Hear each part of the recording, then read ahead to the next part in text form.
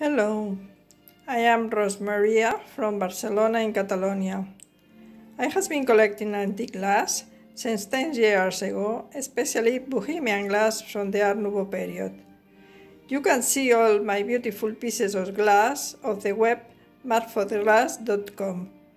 Today I am glad to share with you some of my pieces from and Company one of the most famous glass manufacturers in that time. I hope you have enjoyed them.